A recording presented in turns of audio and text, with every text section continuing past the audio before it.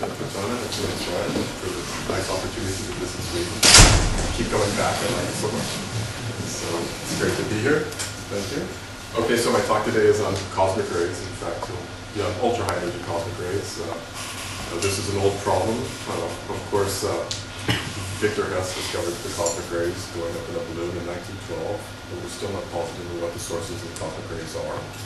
Uh, Auger and uh, Rossi discovered the ultra-high energy cosmic rays by looking at coincidences um, of Geiger counters, spark, spark cha chamber counters on the ground. And uh, that was in the 30s. We still haven't established what the origin of the ultra-high energy cosmic rays is. Uh, so why is it so difficult to, uh, even though we have huge amounts of knowledge about the cosmic rays, why is it so difficult to solve the origin of cosmic rays? Well, it has to do with charged particles that deflected in the magnetic field, so the cosmic rays don't point directly back to their sources. Now, we can see the secondary productions of cosmic rays through gamma rays, uh, the interactions of the cosmic rays with the gamma rays, but we need gamma ray instrumentation, and the launch of the Fermi instrument has gone a long way to remedy our, our knowledge, to improve our knowledge of gamma ray astronomy and neutrino astronomy. So we, neutrinos will unambiguously point to these sources of cosmic rays, but they're very faint and very difficult to detect. So really you have to bring all three of these probes together to try to find and solve this problem, the origin of the cosmic rays. And uh, presumably that will be solved uh, quite soon with uh, over the course of this decade, we're having lots of new instrumentation coming online, not only Fermi, but uh, the ground-based gamma ray astronomy telescopes, the uh, uh, Instrument, uh, as I'll, I'll, talk more about, as well as the neutrino telescopes. So we have all this possibility to make, uh, to establish what the origin of the cosmic rays, both the cosmic rays up to 10 to the 15 eV, and the cosmic rays going up to 10 to the 20 eV. But today I'm just going to talk about the ultra high energy cosmic rays, by which I will say greater than 10 to the 18 eV. The definition varies depending on the person. Uh, this is the outline for the talk. I give you a little bit of background about the Pierre Auger Observatory and what the results have been telling us about ultra-high energy cosmic ray origin. But what is rather straightforward to show is that you have certain requirements for ultra-high energy sources. They have to be extragalactic, but you have to be, have sources within a certain distance, the so-called GZK radius, which is the distance within ultra-high energy cosmic rays can reach in Sirius Earth. The, the energy density uh, per unit time emissivity or luminosity density has to be at a certain rate just to overcome the losses. So you need sources that provide that amount of power. And you need powerful sources because if they're not sufficiently powerful, at least using simple models of Fermi acceleration, you just cannot accelerate uh, particles. So those are the requirements for the sources, and they lead us to certain implications about what we expect these sources to be, but we still don't have the confirming evidence of what the sources of the rays are. Then I'll talk about what we know about gamma ray sources, what the Fermi Gamma Ray Space Telescope is giving us new information on, and then I'll, I'll describe the most probable sources, radio galaxies and blazars as the sources of the ultra-high energy cosmic rays, and gamma ray bursts as the sources of the ultra-energy rays. And my latest work on this is a paper on gamma ray bursts with Soebur Razzaque and Justin Finke, talking about electromagnetic signatures of ultra-high energy gamma ray bursts. We're still trying to get this accepted in major physics. We have a paper in New Journal of Physics where we try to make the case of uh, Centaurus A and radio galaxies being sources of ultra-high energy. That should come out soon. And uh, I have a book with Govind Menon, which really generalizes this theme in a full uh, book size uh, development of the idea. So, so this will just overview some of the basic things. But just to make sure we all know the basic background of what we're talking about, this is the ultra-high energy cosmic ray spectrum. Over here, get a uh, laser pointer, just. So this is multiplied by the differential number of fluxes multiplied by E cubed here, and certain features come out there. These are the spectral features that give us indications about propagation, origin, acceleration of, of the ultra high energy cosmic rays. So there's this so-called knee here now uh, at about 3 times 10 to the 15th eV. So this uh, above, above the knee, then you have a so-called second knee about 3 times 10 to the 17th pp, where it uh, softens a bit. So when it's flat in this uh, representation, it's E cubed, so this is an E cubed, e to the minus 3 spectrum in number. Then it's steeper, say e to the minus 3.3, and there's this very clear dip. So this is an important uh, hint about propagation or acceleration, this dip. And then it goes to the highest energies. Now, this is an old graph. In the last several years, the highest energies have come into focus as a result of uh, HiRes, Auger. Um, and, and they have shown that at least the uh, early data from AGASA, AGASA, which suggested that there is some high energy excess extending beyond 10 to the 20th is probably is not correct. There's this very strong cutoff above about 10 to the 19.6. So this is the so-called GZK cut, cutoff, which was predicted some time ago, as I mentioned. So, right now.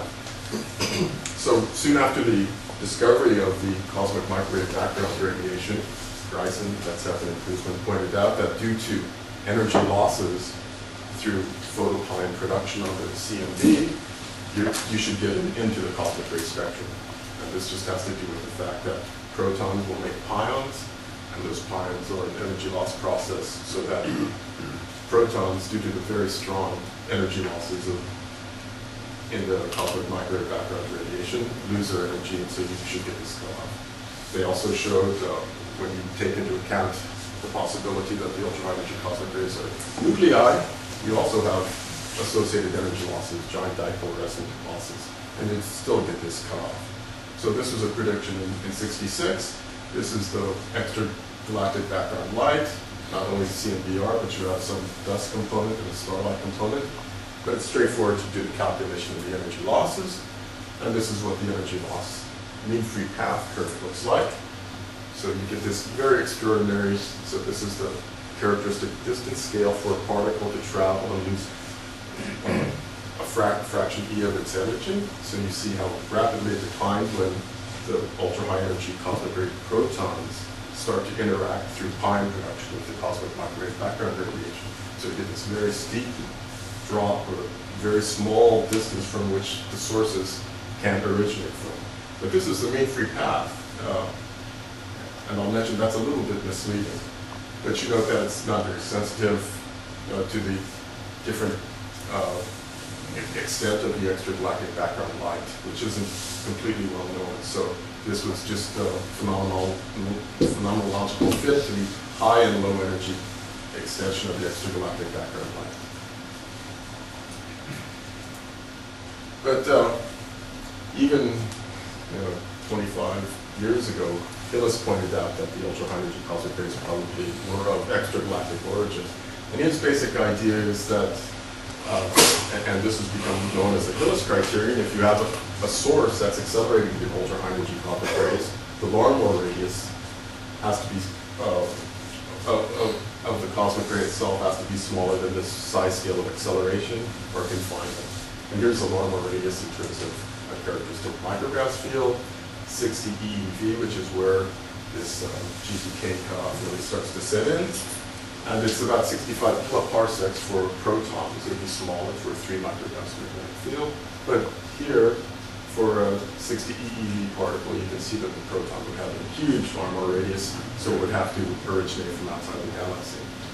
Now, it could be iron nuclei, uh, and it, it's still not positive what the ionic content of the ultra-high energy cosmic rays is, but all the same, the Hillas condition, as noted by Michael Hillas himself, already rules out many potential sources of ultra-high energy cosmic rays. Uh, flare stars, white dwarfs, normal garden variety, 10 to the 12th, 10 to the 13th Gaussian neutron stars, and galactic sources. Although people have supposed if they're iron, maybe you could get some uh, galactic sources to make the ultra-high energy cosmic rays. Now, uh, over the last several years, the Pierre Auger Observatory, which has been built over the last decade, but they've been having data releases. So they had a major data release in 2007, but the Pierre Auger Observatory is a hybrid observatory. It, when, when you observe ultra-high energy cosmic rays, you can do it in one of two ways. You can have shower counters to look at the showers, or you can be use optical monitors to look at the nitrogen fluorescence that's excited as the ultra-high energy cosmic cascade. And the AGASA detector was a fluorescence detector, the HiRes was a shower counter. They had these disparate results. So it's clear that to really resolve this, we needed a hybrid detector involving both uh, shower counters and uh, fluorescence detectors, and that's what they have. So they're always uh, spectroscopy detectors, 1600 spaced 1.5 kilometers apart. Uh, they have uh, four uh, arrays of nitrogen fluorescence detectors in this rectangular resolution of about one degree for 10 to the 19 eV particles, and then the energy intensity of 22%. Now, 2007 is the birth of charged particle astronomy, or at least it's often hailed as that, but the birth is a little bit uh, exaggerated given uh, the more recent uh, data releases. But what, what uh, the Auger folks did is they took a catalog of active galactic nuclei by Veron and Veron, and then they correlated the arrival directions in these large circles with the locations of the active galactic nuclei in this catalog. And first thing, okay, these are exposure uh, uh, indications of more exposure here, and, and you can see very clearly that the arrival directions are anisotropic. And also that they seem to correlate to some extent with this uh, distribution of active galactic nuclei, which are clustered along the supergalactic plane. So there's ex extended uh, matter concentration within 100 megaparsecs, the supergalactic plane where we have enhanced AGNs, galaxies, um, and, and, they, they do tend to cluster there, and, and they announce that there's a correlation between the arrival directions of cosmic rays greater than about 6 times 10 to the 19 DeV with active galactic nuclei within 75 megaparsecs. Now, as I mentioned, this correlation is not strengthened in their more recent data release they announced in Denver APS, uh, which is a bit of a puzzle, but it, it hasn't gone away either. But it, it, always suggested in my mind that this is just a tracer of matter. And what this is saying is that the ultra-high energy cosmic rays follow the tracer of matter in within 100 megaparsecs, not necessarily AGNs. But let me also point out that this enhancement toward the galaxy Centaurus A, is very fascinating. There's quite a few objects there. Centaurus is the nearest active galaxy, 3.5 megaparsecs. And this enhancement hasn't gone away, it has actually improved.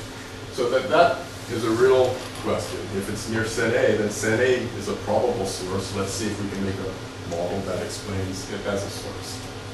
But there's another issue here. In order to have this correlation, uh, you can't deflect the particles as they enter our galaxy much due to the galactic magnetic field and that deflection increases. I mean, all they measure here is the total energy. They don't know what the ionic uh, state of the particles is.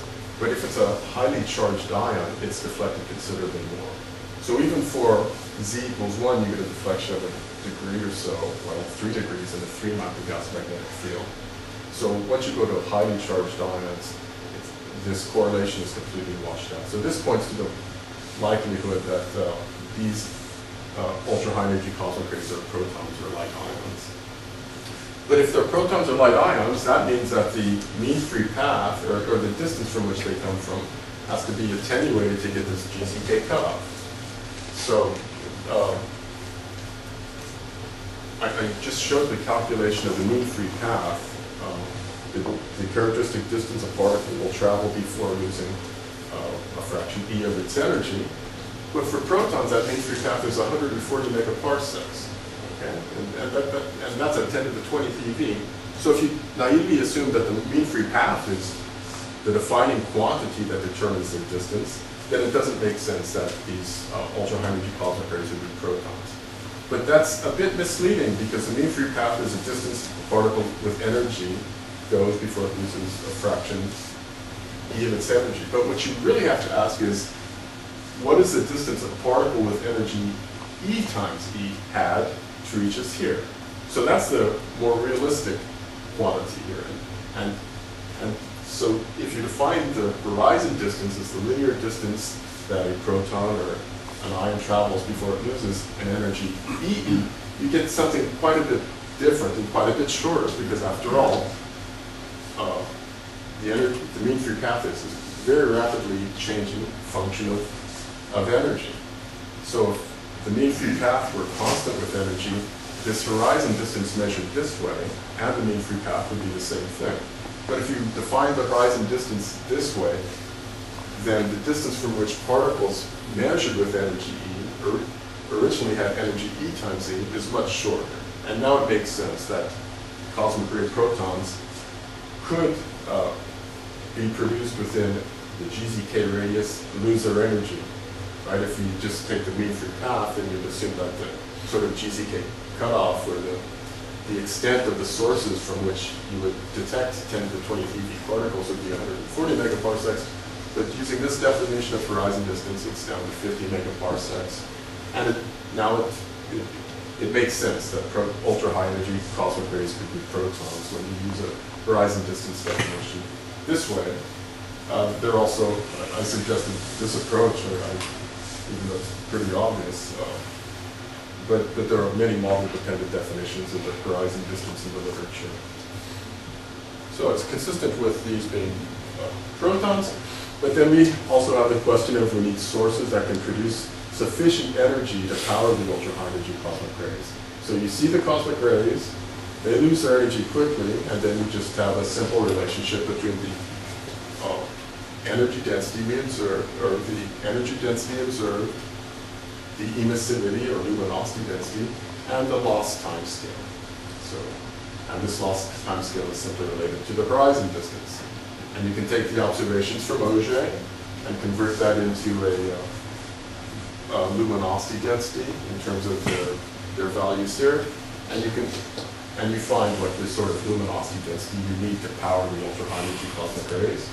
At 10 to the 20 TeV, it's 0.4 times 10 to the 44 ergs per cubic megaparsec per year. 10 to the 19th, it's 0.8. 10 to the 18th, it's 3. So you don't need a lot more luminosity density to go many decades down because the, mean, the horizon distance increases so rapidly with distance.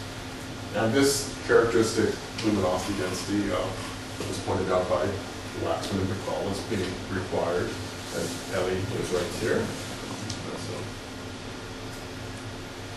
But then we need a mechanism to accelerate uh, ultra-high energy cosmic rays. Now, there are two main approaches in astrophysics. One is Fermi acceleration mechanisms, where you have some sort of stochastic energy gain, either through a shock in a first order scenario, or through moving magnetized media in a second order scenario. Ultimately, you have electromagnetic scenarios. But here I'm going to focus on Fermi mechanisms. And this, is, again, is a very si simple approach to the, uh, what, what you need, well, a, a, simple way to get the luminosity required of these sources. Uh, and of course, but, but it gives the right results from which you can actually do much more detailed calculations and recover this value. And depending on the details of this system, you get uh, some coefficients. But if you have a relativistic wind with luminosity L, then the energy density is reduced by 4 pi r squared times the speed, but it's also 1 over gamma squared. And one, one factor of gamma is because this luminosity is contained in relativistic particles. The other factor of gamma has to do with the fact that you're working in the co-moving frame. So this gives you the internal energy density of the wind in the proper frame.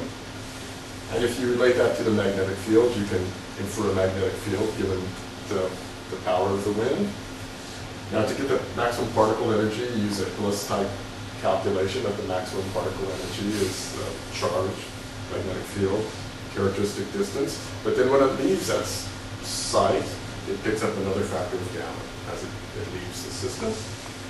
Now you can relate the characteristic uh, distance in the proper frame by Lorentz contraction. And so you get this R over gamma. You put those together, and the maximum particle energy that you can uh, reach in a relativistic wind goes to something like the luminosity or the power of the wind in units of 10 to the 46 ergs per second uh, divided by gamma. And of course, it's, it's much greater if you have a, a charged ion. But there are difficulties, with, as I just mentioned, for charged ions to be the sources of the ultra-high energy cosmic rays. So now this reduces to what extragalactic sources have apparent isotropic, okay, luminosity greater than 46 ergs per second. So I sh should make this distinction. I'm using apparent isotropic luminosity here because you know I have a spherical shell, but it could, could just as well be beamed. So the apparent isotropic luminosity is just the luminosity that one would observe in some portion of the shell. But if you ask what that absolute luminosity is, it's only that fraction of the opening angle of this wind. So that's, that's the difference between apparent isotropic and actual luminosity. So it's only the apparent isotropic luminosity in the, in the outflowing wind that you're exposed to. But then the question becomes, if, you have the sources of ultra-high energy cosmic rays, they have to be greater than 10 to the 46 ergs per second. And of course, we can find those sources by looking for sources that have gamma ray luminosity greater than 10 to the 46 ergs per second, because gamma rays are non-thermal emissions, cosmic rays are non-thermal, and therefore this should get point us to the possible sources of, of ultra-high energy cosmic rays. Now, the Egret experiment gave us our first real view of the gamma ray sky, the full gamma ray sky. Uh, they saw 270 sources greater than 5 sigma. This is the 3 EG catalog. 5 spark chamber gamma reverse, 70 high confidence blazars, a normal galaxy, uh, our galaxy, the LMC, and Centaurus A. We also now know 25 blazars with ground-based telescopes. But we've gone well be beyond that with the Fermi, which was just launched a year and a day ago. So yesterday was its first birthday from uh, Cape Canaveral, formerly GLAST. So this just illustrates its, this was its launch, renamed the. And then, uh, it consists of two uh, main systems, the Large Area Telescope, sensitive between 20 MeV and greater than 300 GeV, and the Gamma Ray Burst Monitor, which has uh, scintillator detectors, sodium iodide detectors, sensitive from 8 keV to 1 MeV, and BGO detectors from 100 keV to 30 MeV. So this provides capabilities over seven orders of magnitude in energy, which is fantastic. Let me just give a little bit more detail uh, about how it works. It's a pair conversion technique. A photon comes in, it converts into an electron-positron pair, and then you track the electron-positron pairs, and then it deposits its energy in the calorimeter. Uh, of course, the anti-coincidence detector surrounds it, so if you have a charged particle, it will excite some semiconductor, and, and if you see a coincident uh, detection in the in, in the layers in the tracker, then you reject that, you veto that because it's a charged particle. The gamma ray won't excite this anti-coincidence layer, so you get the, you, you can veto the charged particles that way. The tracker has to have both thin and thick layers for conversion and also for trackings. And so they've uh, optimized it to get good angular resolution. So you have to avoid mul multiple scatterings, so that that's why you want thin layers, but you, want thick layers in order to get efficient conversion, so it really has to be optimized. Now the cal calorimeter, uh, of course, uh, the Royal Institute here in Stockholm University, uh, were instrumental in constructing that along with friends at my institute at Naval Research Laboratory. And you need enough uh, uh, stopping distance to contain the shower so that you can accurately measure the uh, total energy. So this is the first sky light sky map taken over four days, equivalent to a full year of Egret of data from Egret on the Compton Observatory. This is an orthographic projection, so you can see you know, some bright sources coming through, the, the crab, uh, Cygnus region, there's the band, and there's the bright blazar 3C454.3, Vela, the brightest source in the sky. This is what it looks like if you put it in a Hammer-Aitoff projection. And it shows the same sources I just pointed out.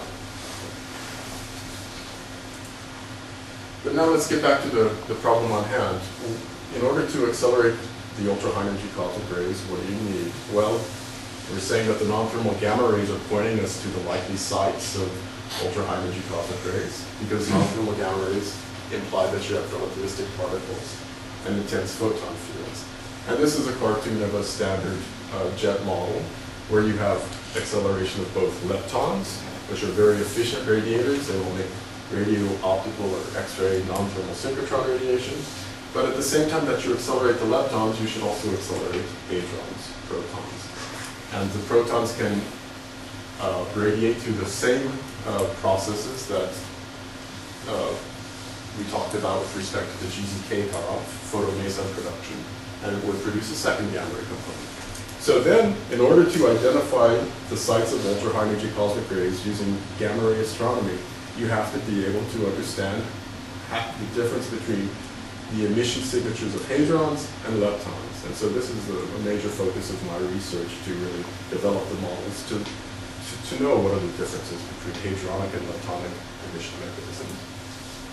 Now, starting first, let's look at the radio galaxies and blazars.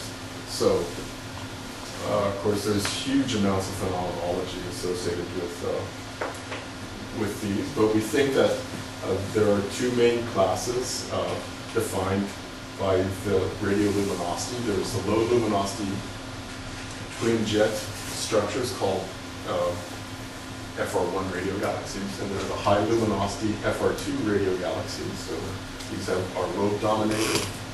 And if you happen to be looking down the jets of these FR1 galaxies, you get a so-called BL Lac object, a low luminosity uh, jetted, highly variable uh, blazar.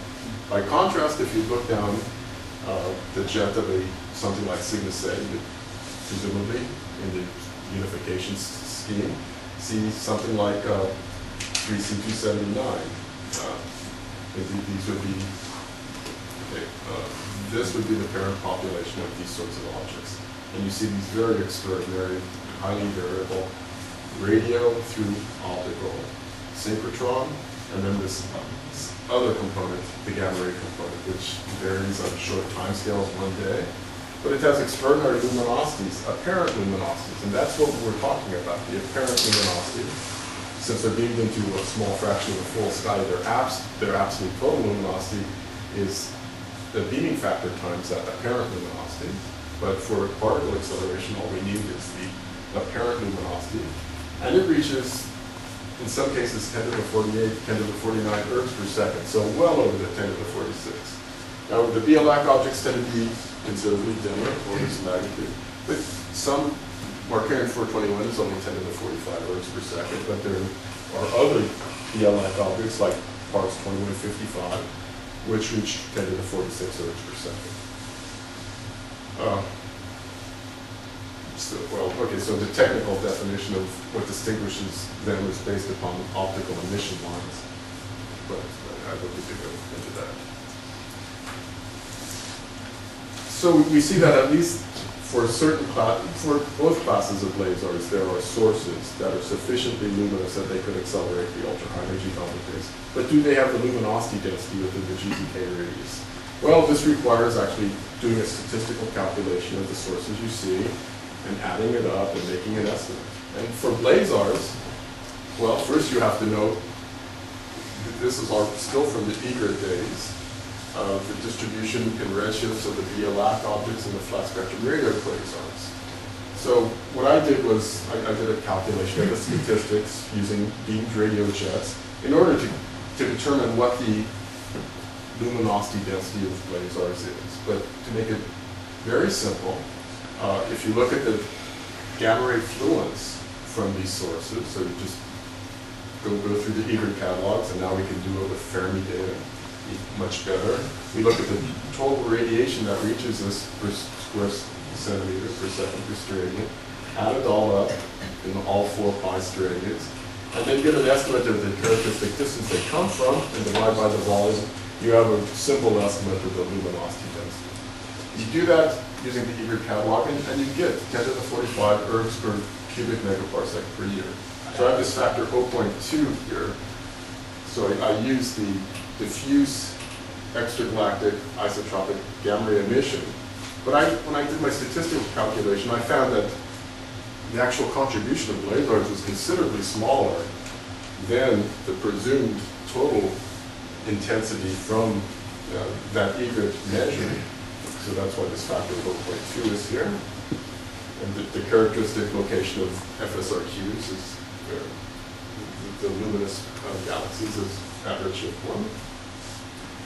But, but, but it wasn't, it's enough in principle. You do the same thing for BL Lac objects and you also get, and- and here you also have a small contribution, but since they're closer, uh, you have a smaller volume, and you also get a characteristic uh, luminosity density of 10 to the 45 ergs per cubic. So, in principle, uh, you have enough luminosity density from these sources to accelerate the ultra high energy cosmic rays. Chuck, about which luminosity are you integrating? Just the gamma ray luminosity above 100 MeV. Yeah, yeah, yeah, yeah. But what is the luminosity of the sources? There's a luminosity function of which you integrate, right? All, all we can say is that the luminosity of the sources has to be much greater than the gamma luminosity. So this is a minimum condition. If the gamma luminosity works, then the luminosity source. I'm asking a different question. If the, if the individual, the luminosity of the individual source is much, much smaller than 10 to the 46 ergs per second, they're not relevant for the cosmic ray acceleration. And I'm quite certain that almost all this luminosity comes from sources which are much, much weaker. Not for the flat spectrum quasars. They're all much. So the flat spectrum quasars will always be above 10 to the 46 ergs per second. Now you're right. For the BL Lac objects, quite a few, as I mentioned, were below 10 to the 45 ergs per second. The not luminosity. Uh, period. mechanical power bending. So if, if the radiative efficiency is not. Well, Indeed. uh, of course. If they don't produce any photons, they can do whatever you want. No, I, I, I appreciate, I mean, your point is right. If the gamma ray luminosity is well below 10 to the 46 ergs per second, then, then you could argue that they're not relevant to this calculation and they should be subtracted away. And, uh, So there are other issues that, that are even, even more severe. But, well, for the BL Lac objects, that, that would reduce this number because I haven't made that subtraction. Okay, ju- just a side issues. Uh, I mean, how do you explain this? Well, it's difficult, even if you had star-forming galaxies. So we'll, see what the final result is from Fermi on that case. But, but now we have a new data set to, to play with. And then this is the Fermi bright sources. Um, so Fermi has released uh, their first three-month source list of bright sources, greater than 10 sigma sources, of which there are 205 uh, large area telescope bright sources. Uh, And also they've released the list of the uh, so-called light, uh, LAT bright AGN sample, the LBAS catalog, which consists of 132 sources greater than 10 degrees, 114 of which are associated with AGNs. So this is a three-month uh, catalog, and you can compare with EGRET, over the, the entire EGRET lifetime, there were, were only 31 greater than 10 sigma sources to compare with the 205 LAT source, red sources.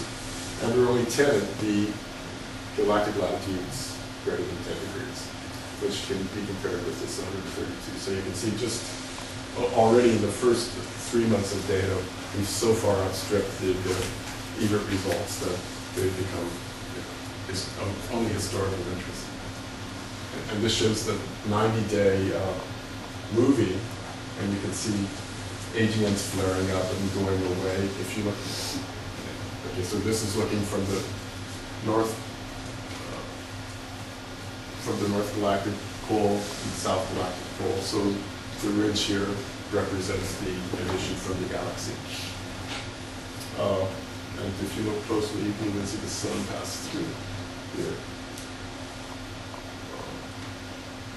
We need a darker rim, but anyway, the sun passes through very hard too.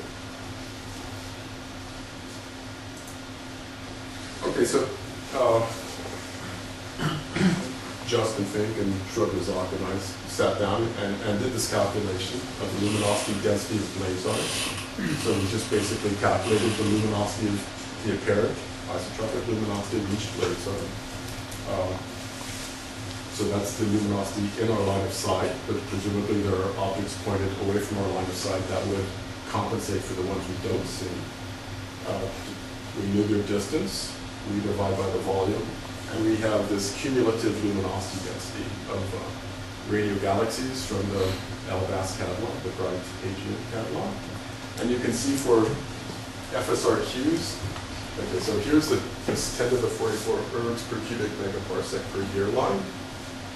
Uh, the FSRQs, oh, sorry, the uh, BL Lac objects are here.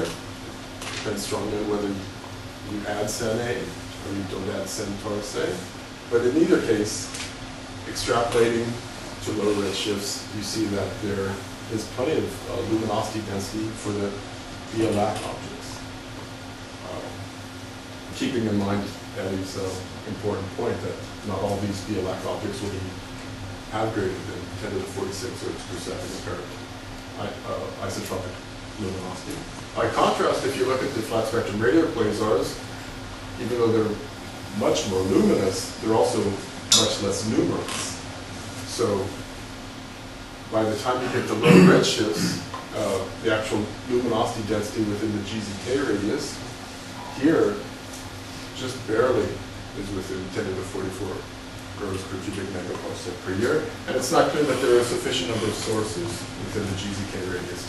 So this points, in my mind, to the more, it's more reasonable to suppose that the BL Lac objects, the low, the lower luminosity versions of AGNs, if they are the ones that accelerate the ultra-high energy cosmic rays, are more likely to be the sources of the higher luminosity radio galaxies. But then there's this, well, so, so let's look at the arrival directions of ultra-high energy cosmic rays. Um, and try to associate them directly. I mean, they've been deflected by intergalactic magnetic fields, they've been deflected by galactic magnetic fields, but they still are associated with the AGNs, at least in the first data release of Auger.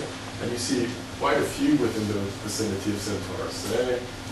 People have gone through each and every arrival direction looking for sources. There, there's a good number near FR2 radio galaxies, uh, some FR1 radio galaxies, uh, which, and th- those sources could in principle accelerate them, and then the particles be deflected into lobes so that we see them.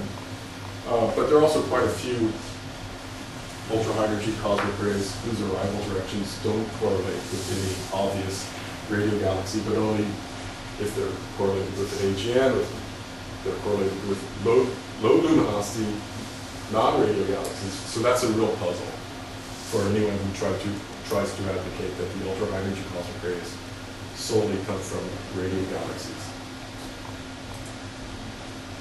But since Centaurus A is the strongest candidate, it, it, it pays to actually look at this in quite a bit more detail.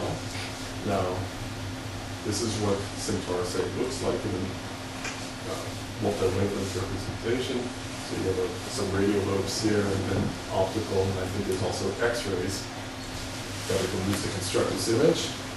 Now we know we need this 10 to the 46 ergs per second of apparent power to accelerate cosmic rays by Fermi processes. If you, if you just go through the literature and sit down and write what the powers are, the radio luminosity is 4 times 10 to the 42. That's non-thermal. The gamma ray power from Fermi is only 5 times 10 to the 41.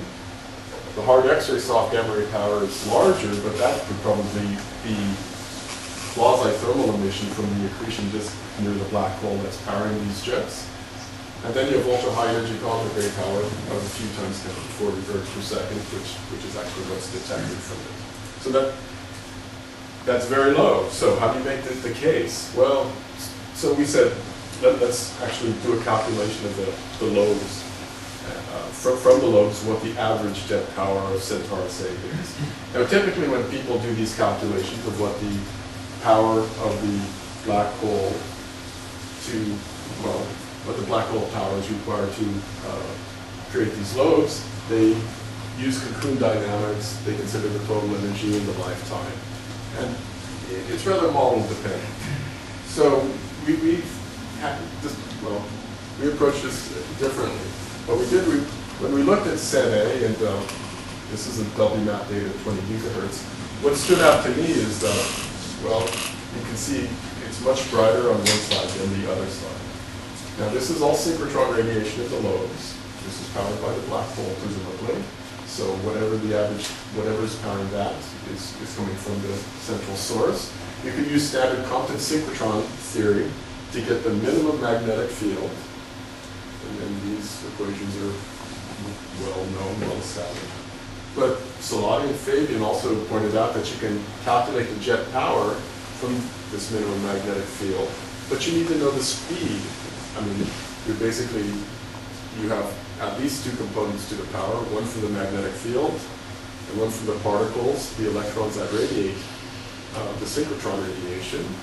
But on top of that, you need the speed to finally close the system of equations to get the power. How do you get the speed? So we suggested you use the jet counter-jet symmetry. If you interpret this, this dimming and this brightness as due to some uh, motions away, toward away from the observer. And, and when you do that, you get something like, in this region, it's, uh, it's moving at about 0.2 C to make this jet, counter-jet ratio. And here it's about 0.1 C. This is a little bit brighter than this. And using those speeds, we derived a power, a jet power, that is making the radiation of the lobes of about 10 to the 44 ergs per second. Now here it's absolute power, it's not apparent power, it's the total power, right? But if you talk about apparent power, this absolute power can be put into a smaller opening angle, a smaller jet. So you could easily increase this apparent power by a factor of 10 due to the smaller jet.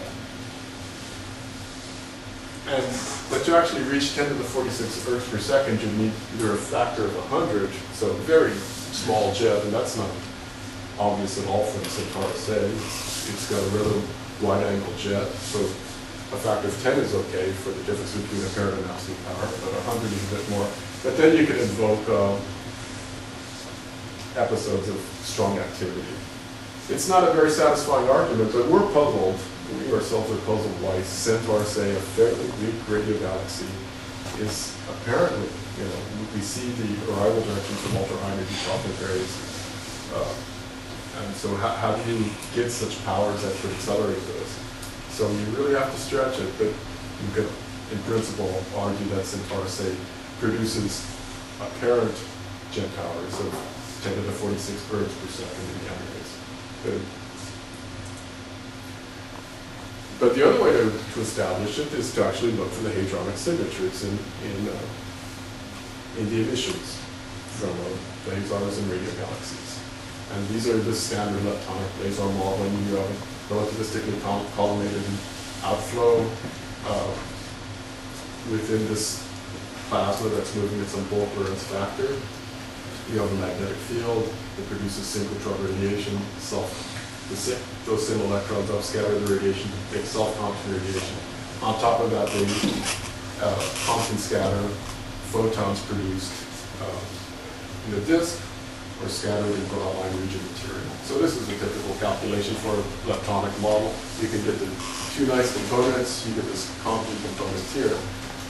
But the question is, do we see anything, what would you do for, you know, what do we expect from the hadronic component?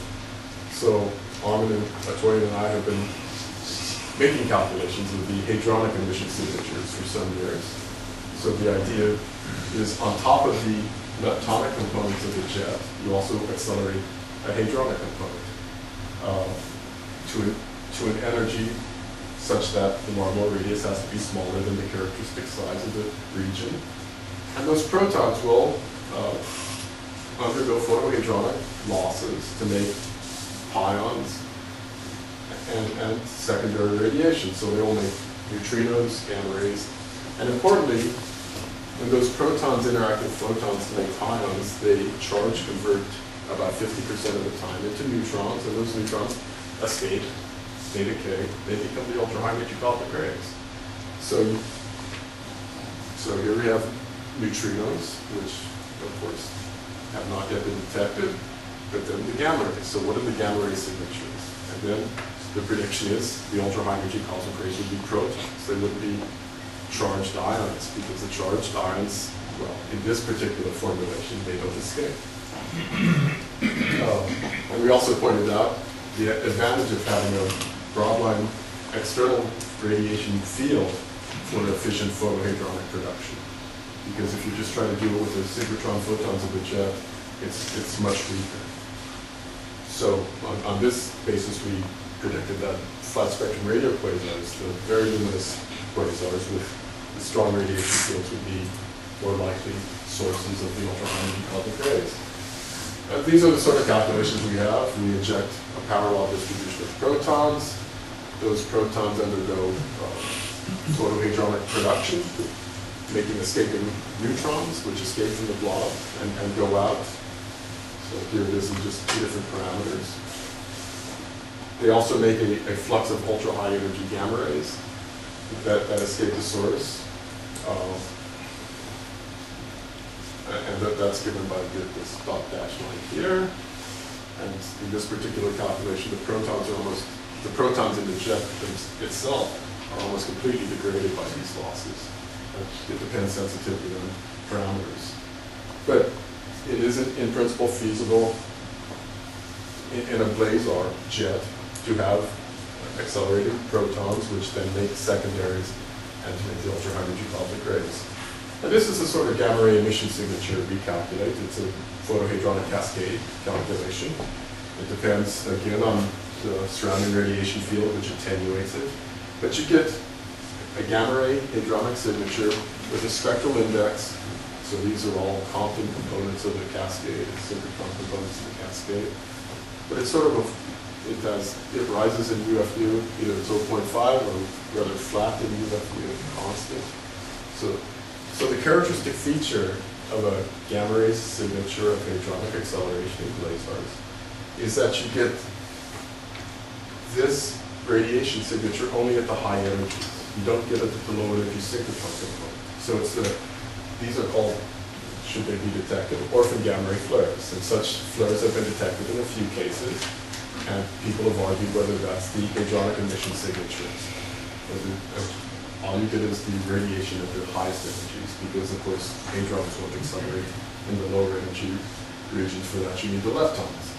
Uh, but I will have to tell you, uh, we, I mean, the Fermi mission is still in its early stages, but we, we haven't identified very clear orphan gamma flares. It requires uh, a full collaboration to look at the multi-wavelength spectrum. So it's still only in a few cases where we have those sort of uh, multi-wavelength capabilities and coordinated campaigns. But this is what we're looking for to, to identify hadronic acceleration. But if this process were to take place, then those protons, which have decayed into neutrons, the neutrons escape, plus you have the ultra high energy gamma rays, they leave the system, they go out, uh, the neutrons then decay, and they deposit their energy from the beam inner jets on size scales of one kiloparsec to a megaparsec. The gamma rays deposit their energy, so they you have this ultra high energy gamma ray uh, uh, component, which then converts to electron positron pairs by interacting with surrounding radiation fields. It deposits its energy also at distance scales of 10 kiloparsecs to a megaparsec. So this shows a, the characteristic distance that gamma rays propagate at, at these very high energies. So 10 to 10 kiloparsecs to a megaparsec. And so, so we can ask separately, what would be the signature of such a process if, if it were to exist? Well, the signature is you've had this production of ultra high energy cosmic rays, secondary neutrons, which take collimated, which are collimated and flow out, and they deposit their energy. They should be very linear signatures. So this is a mechanism to make very linear structures because the neutrons flow out, of having to do with the collimation of the jet, and they deposit their energy, assuming the black hole over the course of, you know, remains gyroscopically stable, which undoubtedly it will. And so Armen and I have argued that you see these very linear structures in a few cases, A, uh, even Cygnus A shows some. That might be a signature of the escaping neutrons and gamma rays, which then deposit their energy uh, along the jets. It provides a mechanism to power the jets, uh, other than just having straight plasma outflow, which goes to large distances. So it's a separate mechanism. Uh, But how do you prove that? Ultimately, the way to demonstrate that is neutrino detection. So the detection of a single neutrino will, from a a blazar, will indicate the, the strong importance of hadronic production, neutron escape, and I'm talking about neutrinos of 10 to the 15 eV, sort of energy range where IceCube is sensitive to. But, okay, I- I'm not going to spend much time on neutrinos, that's uh, already my time is uh, coming to an end, but let- let's now talk about gamma ray bursts. Well, there's a lot of phenomenology associated with gamma ray bursts, and, there's not only the long duration GRBs, which is what we usually think of when we talk about the, but the short horn class of gamma ray bursts, coalescence of compact objects. And this was demonstrated by the Swift mission that the short part class of bursts are related to whole stellar populations, low luminosity bursts, X-ray flashes. So, so it's, it's a complicated field, but what we can do, we can take, uh, and this is something that Vietri and Waxman did, and, and really started the interest in the possibility that gamma ray bursts could accelerate the ultra high energy cosmic rays by looking at, by doing this emissivity calculation. So if you take the total fluence, and this shows the fluence of uh, nearly 2,000 gamma ray bursts detected by BATSE uh, during its lifetime, you add that fluence up, you assume what its characteristic distance is. In this case, it would be sort of redshift one, from our knowledge subsequent to that, and that this is what they get and then do this luminosity density calculation, you get right around 10 to the 44 ergs per cubic megaparsec per year. So it's right on the border there of the, what's needed, but you also need such sources within the GZK radius. But, but it's, it's, it's feasible. And uh, I followed this possibility up with, with some coworkers. So the nice thing about gamma bursts is you can argue that they, their injection of, of ultra high energy cosmic rays would be rather constant from gamma burst to gamma burst. It doesn't change a lot through cosmic time, which certainly wouldn't be the case for blazars because the supermassive black hole changes in mass, the environment changes, but a gamma ray burst could be in principle rather s- a stable object. All you need to know is what the birth rate is as a function of redshift. And we, we did that calculation with all the energy losses and you get the GZK cutoff, and you get this dip. This dip feature is due to pair production. This is a point uh, Berezinsky has made over the course of the years.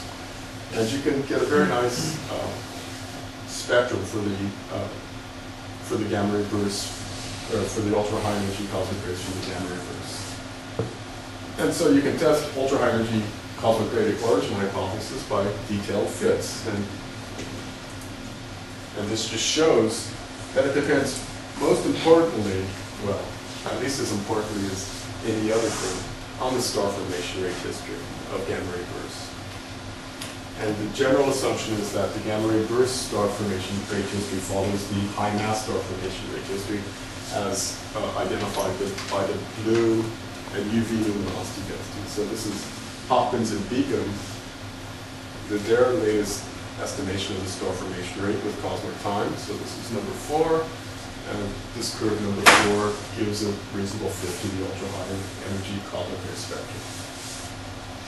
But to actually confirm um, that, uh, in the absence of neutrino evidence yet, that ultra high energy cosmic rays are powered by gamma ray bursts, we- we need to look for gamma ray signatures.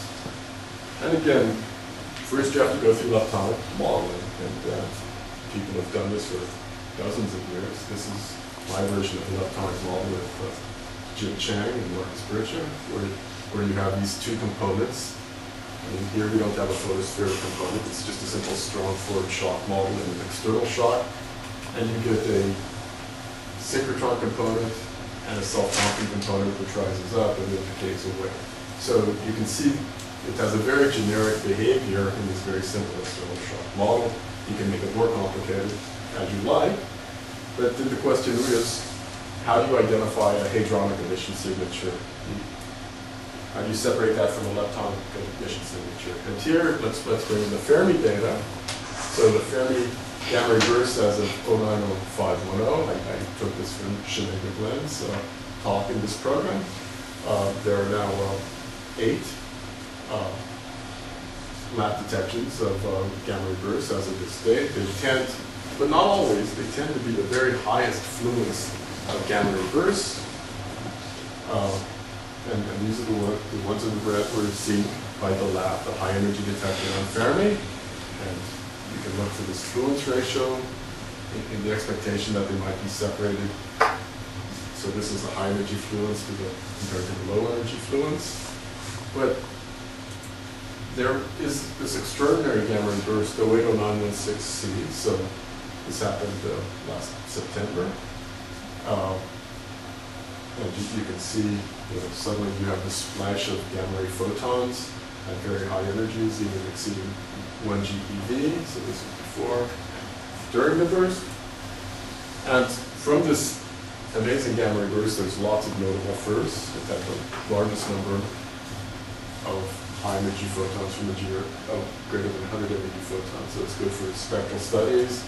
Uh, there's a redshift 4.35 very distant, way outside the GC very this. Uh, large fluence, it had the largest apparent isotropic energy release, nearly 10 to the 55 millirds, which supports the black hole jet paradigm. It had a very high energy photon, from which you can determine using opacity arguments of the jet Doppler factor, because you can reduce the opacity of the emission region by having it moving at relativistic speeds. This has implications for extra extragalactic background light models, with some quantum gravity. But what I'm going to focus here is a very significant delay between the onset of the 100 MeV and the 100 keV radiation. is four seconds. And, and I think this is a very strong clue that cosmic rays are cosmic ray hadrons are accelerated in gamma ray bursts. So this is 080916C, uh, light curves. So here it, it, turns on between 8 keV, 260 keV, and up to 5 MeV. but quite a bit, well, several seconds later on, finally the high energy radiation turns on. Now this is also seen in an earlier burst, the first burst seen at the LAT at 80825C there was also this delay. So this delayed onset is characteristic of these two bursts and several others. In fact, no, no, it's even seen in short gamma ray bursts. There's no violation the fact that the high energy radiation turns on several seconds after, in, in long duration bursts after the low energy radiation, several tenths of a second in short hard bursts. Also, it has extended long-lived high energy gamma rays seen in both which is also seen in both the long duration and the short barred gamma rays. So how do you interpret that? You could just say, oh, you know, some shells, if you take a standard gamma burst model and it's colliding shells, well, some shells have different parameters. So in some shells it's soft, in some shells it's hard. And that'd be okay, well, but we always see systematically that the onset comes after, uh, later. But if you're just arguing for some happenstance of different shells, and in, in some cases, the, the onset should, you know, you should get the high energy emission from the first set of shells, not the second set of shells. So, unless you argue for, well, for some other mechanism, this doesn't work. You could argue for opacity effects that it's completely opaque early in the gamma ray burst, so the gamma, high energy gamma rays don't get out.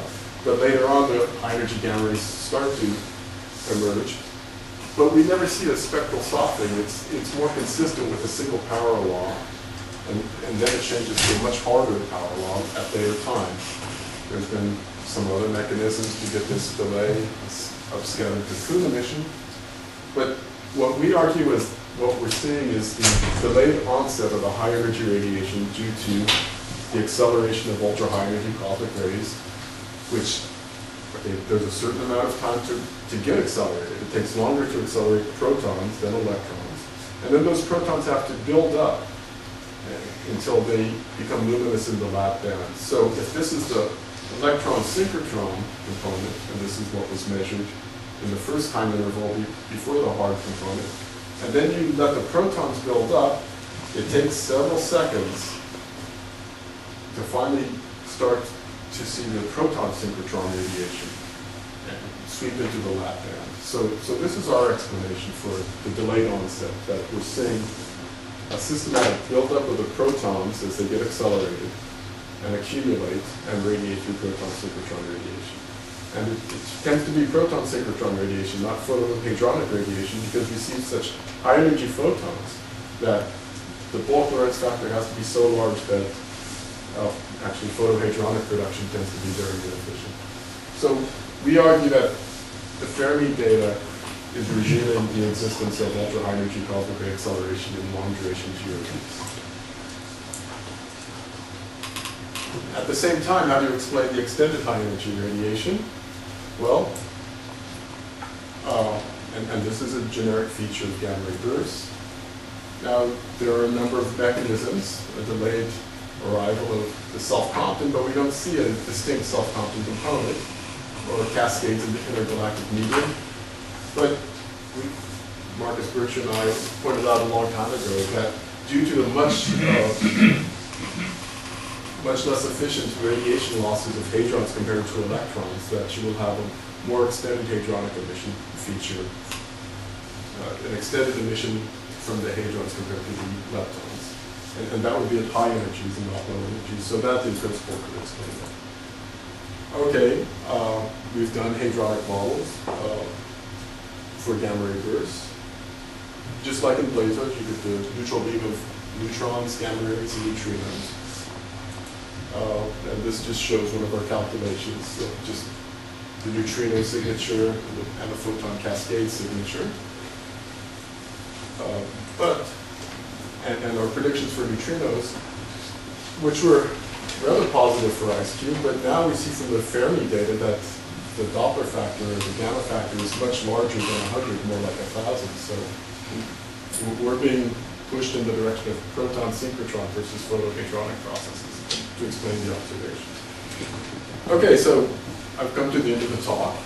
That was the basic outline. Uh, we are making progress in understanding the origin of ultra-high energy cosmic rays. Lots of sources are rolled out, especially with the latest Auger data.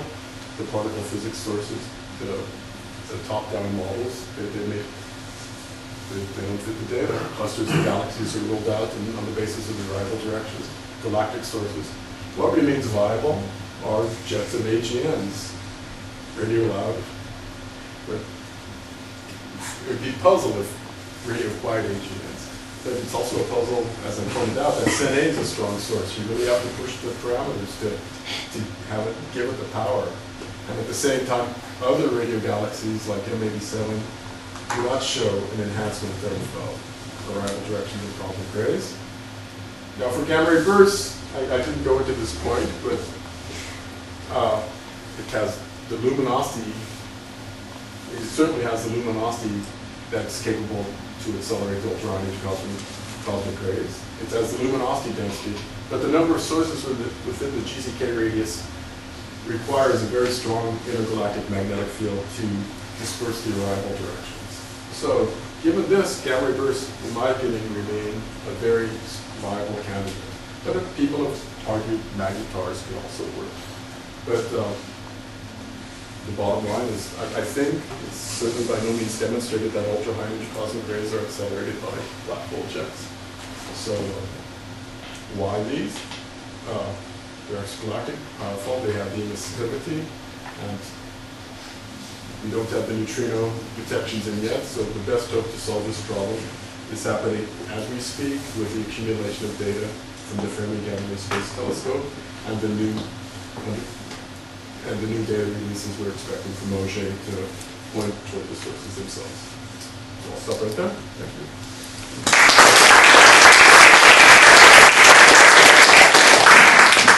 Thank you very much. We have time for a few questions. Delay again? Is it, was flashed.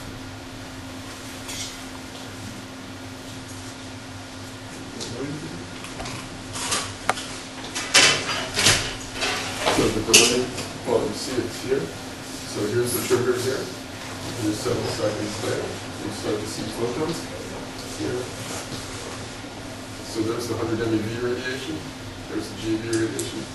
It's it's a bit hard to see on this, but it's, it's, there is distinct delayed onset of the, uh, of the higher energy gamma rays compared to the lower energy gamma rays.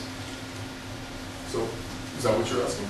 Uh, it's, uh, it's within the, within the burst, but you're saying the, the start is. Yeah. Right. The- You see the burst continues, in this case, forty to sixty seconds. And what about these uh, photons emitted at much later times? It's just continue, Well, it's a difficult problem. It's because you've accumulated all these protons. The electrons, uh, your injection starts to decline, but it hasn't ended. But, but the electrons immediately radiate their energy, so it, it gets reduced. But then the protons are still there to radiate their energies on a much longer time scale because they lose their energy so much uh, less quickly. So It's just a difference in the decay time scales. The acceleration time, if they are confined, then by definition, the acceleration time is roughly the dynamical time that describes this, right?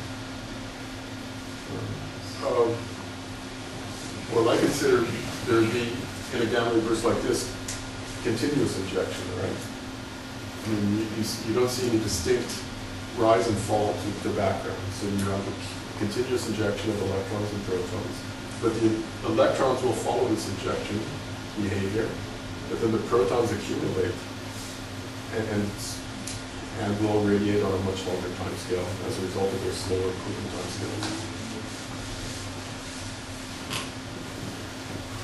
Other questions?